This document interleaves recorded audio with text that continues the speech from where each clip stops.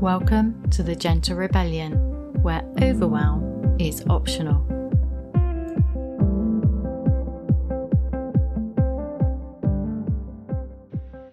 Hello, how are you doing? Lovely to have you here with me again this week. I hope you had a good week.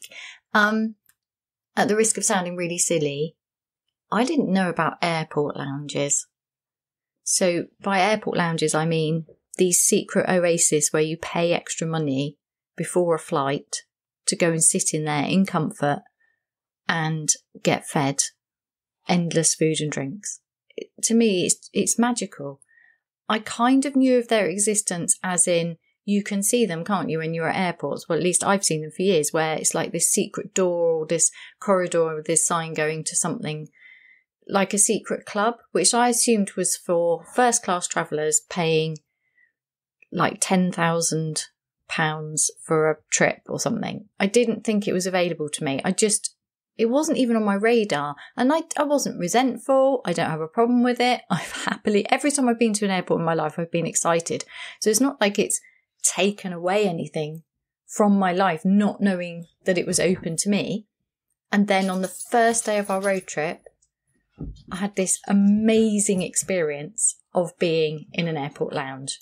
Excuse the noise just given the dog some biscuits. That odd noise, if you heard it, was Ruby on her back, on the floor, legs in the air, rolling round, just celebrating the day, life. I don't know. Anyway, hopefully they'll be a bit quieter for you now. So, airport lounges. Had no idea they existed. Turns out they're awesome. So, what happened was we got Barclays travel insurance, and Simon chose the one that gave you extra things. And one of the extra things was airport lounges. Oh my goodness. He was so excited about his airport lounge, and also he wanted to get his money money's worth that we went early to the airport. Now I don't know about you, whether you're an early to the airport or a late to the airport person. I was going to allow just two hours because I'd read that you no longer have to do three hours. I think airports have got a bit more organised recently. Well, at least my experience has been that they're running really well now. But no, apparently we needed to go for three hours so we could get our money's worth and basically eat everything in sight, which I certainly couldn't do. But anyway, it was quite amusing. I cannot believe how wonderful it was. It was, it just really, really added to the adventure. It felt like such luxury. But for me also, it was that calm steadiness. So there's not a lot of movement. I mean, there is movement, obviously, because people are coming in and out of an airport lounge to catch their flight. But in general, it just felt calmer, stiller, um, just easier. And, and that ease, that comfort, I could just sit and read my book. Oh my goodness. So this got me thinking. Airport lounges have been hidden from me. So, what else is hidden from me that would make my life easier? So, the airport lounges have been there all the time. I mean, I don't know the history of them, I don't really care to look. But let's just assume the airport lounges have been available to me all this time, but I didn't realise it. I wasn't aware of them. Even though I'd glimpsed them out of the corner of my eye, so even when they did come into my awareness, I turned away from them. I switched off my awareness of them because I just made an assumption that they weren't available to me. And this wasn't true. Now, obviously, there are times in my life when I had less money, so maybe that was true. Or I was in a hurry, so there would be no point. So there's all sorts of reasons why that would be understandable. So it's not a judgment. It's not the point, is it? What what are our hidden airport lounges? That's my point. So to find the hidden airport lounges, I have to be able to bring the hidden ways of having more ease into my awareness, which means I have to assume there are hidden eases available to me. And once I've made that assumption, I can then look at the world with this new and exciting, gently rebellious lens where is there hidden ease that I'm not seeing or I'm dismissing? So the easiest ones to find would be the ones that I'm seeing but dismissing. Seeing them but dismissing them. So there's that means there's an underlying assumption that they're not available to me. So that's what I'm playing with this week. And I'd like to invite you to do it as well, because here's to finding more hidden ease. So I always want to start with the easiest ones to let in. I've no idea what these are now because this is just something I'm exploring. But who knows what's going to happen? Do you want to play this game with me? So, this game is put on the gently rebellious lens of the assumption is there is hidden ease, and now I'm going to look for it. And the easiest place to find that is the ones that I'm seeing but dismissing. And the seeing but then dismissing ones are based on a belief or an assumption I'm making. So, this is an opportunity maybe to go a little bit deeper with this, should you choose to. I'm going to play with it, but gently and lightly, assuming nothing is wrong, dropping any judgment, any, well, I ought to be better at valuing myself and accepting help. Yeah, drop all the nonsense normal judgment. It's so boring and it just adds to the pressure and the overwhelm. So instead, I'm going to invite you to just play with me because this is what I'm doing. I'm going to play with this. So I've got two messy journaling questions here.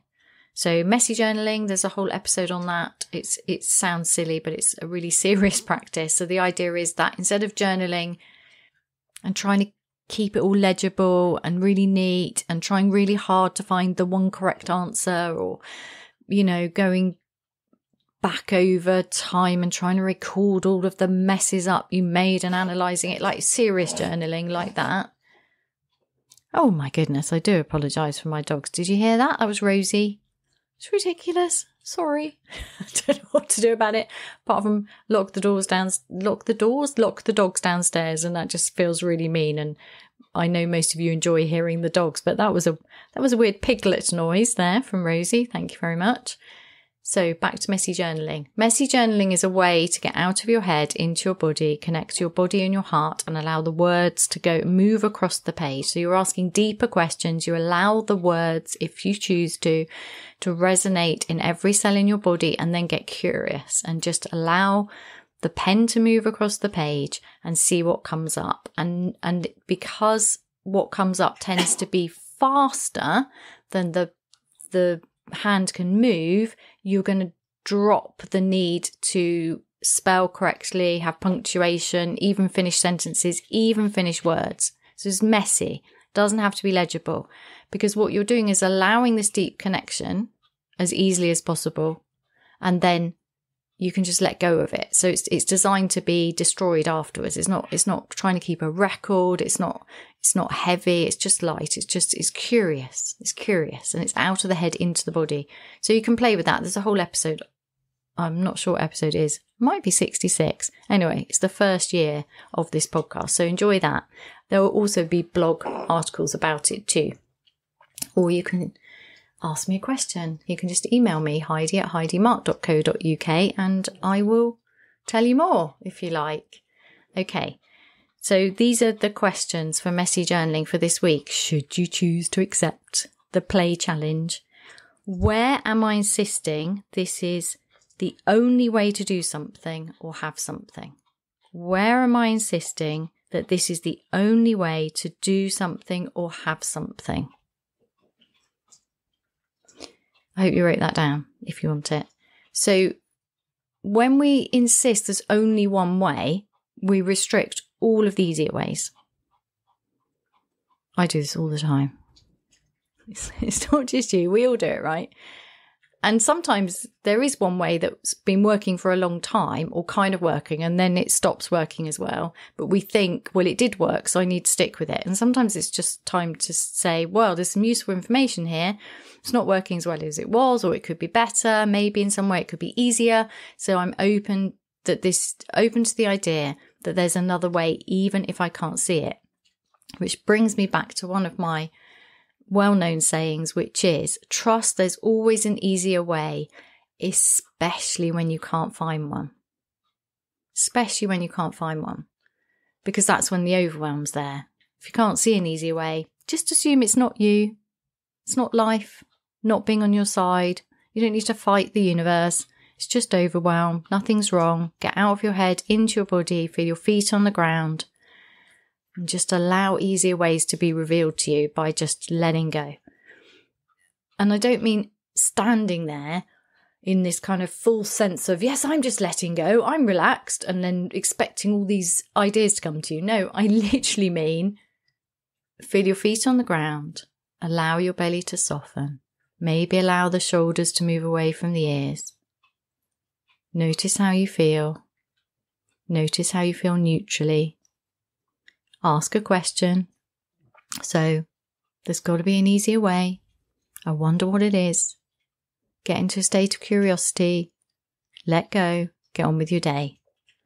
And wait for stuff to be revealed because the answers are always all around us. And with hindsight, we can see there is easier ways, right? I mean, if you take big things like a job that was killing you because it was so stressful, when you look back, you can see that there were other options that you couldn't see at the time because you were stuck in survival mode, which is chronic overwhelm. That's okay. That's normal. But using that using the the wisdom of hindsight now requires the same thing. If you clear the overwhelm, you get that now. There are always easier ways to do things. There's there's a lot of hidden help and uh, freedom from restrictive assumptions and beliefs, all sorts of things, all, because there's all sorts of ways of living your life. Because you're smart, capable, highly driven, big hearted, and determined to live this full life, which means that for you, especially, there are lots of ways of doing things. But it often takes a shift, and the shift is usually the letting go of the assumption that there's one right way of doing it. So that's the first messy journaling question. Where am I insisting this is the only way to do something or have something? The last one, there's only two. Who wants more than that? That's plenty, right? In fact, you've already got enough. You don't even have to get a pen out if you don't want to, obviously. The second messy journaling question gift to you this week is to notice your language. So to just watch your language. When do I use words such as difficult or hard work? So this is related to the assumption that life is hard, that everything worth having requires sacrifice. Because if that's true, then by definition, life will be hard and you will assume you have, you will sacrifice your health, your relationships, your free time, your ability to switch off and hear your partner speak. You, you will sacrifice because you're assuming that's the deal you've made with the universe. But not everybody lives that way. There's all sorts of ways of living, and finding the way that works for you matters. So let's just assume that life doesn't have to be hard and that success doesn't require the sacrifice of your health and relationships. How would that change things for you? Well, hugely. And that is the whole gentle rebellion. But instead of that huge question, I invite you instead to just watch your language. And I don't mean watch your language as in catch yourself out and try and change it. No, I don't mean thought police. I mean get curious about the words you're using because they will reveal to you where your hidden ease is. So if you're saying, but but that would be too much hard work, or that that would be really difficult. So for example, I'll give you I'll give you something that I'm playing with at the moment. So we haven't finished renovating the house, but we also want to do an extension. But the extension is a long term thing. And so it's easier to think, well, I don't, I'm not even going to think about it because it's not on the table at the moment. But that's not much fun. And also, it's easier to do it more slowly, right? It's easier to have plans and dreams and imagine them in and then get focused on them and then not have to wait. You know, so, so normally what happens is you you decide what you want to do and then you have to wait for the workman to to be free. Well what if we do it the other way around and it's just easy and that's what i'm up to. So i'm inviting somebody around to talk about what's possible way before we've actually got a kind of fixed plan because we're still renovating we're still and also we've just been on a big adventure. So a lot of the renovating money went on a huge road trip which is beautiful and we've got another one planned as well. So you know like there's there's choices in life but it's easier and more fun to, well, I've decided it's easier and more fun to play with the idea of what the extension would look like way before we're, we're actually seriously, you know, so there's nothing concrete. So there's no rush, there's no hurry.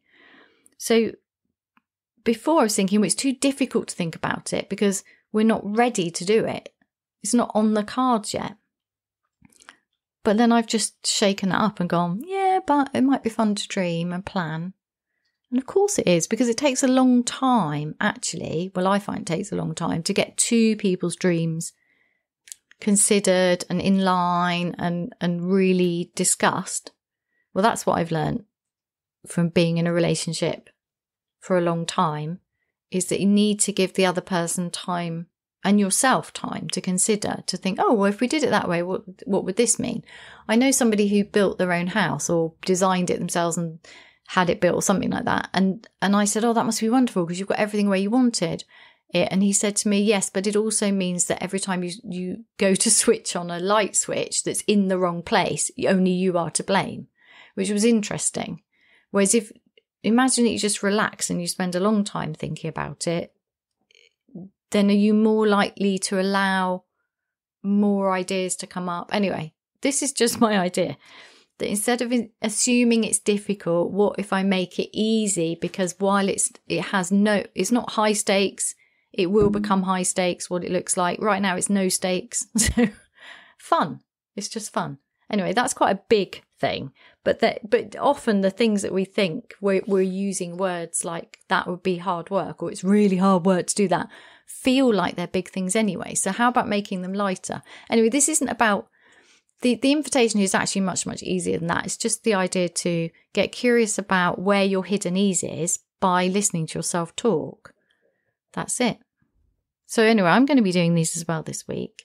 So if you want to drop me a line and let me know how you get on, I'd love that. I love it when people contact me. I had two lovely messages this week about um, last week's Gently Rebellious Read, my newsletter, which is usually linked to what I'm talking about in the podcast. Um, and that was just, it's just really nice. It's always lovely to hear from you. So thank you when, when you reach out. Thank you to those people. It means a lot. Okay. That's it, guys. I wish you a week of lovely little moments that tickle your heart and make you laugh out loud when you realize, oh, I've been doing it the hard way. I could have done it an easier way. I wish you a week and a life, obviously. But this week, let's focus on hidden ease. I wish you a week of finding delightful, easier ways of doing things. Lots of hidden ease. Enjoy.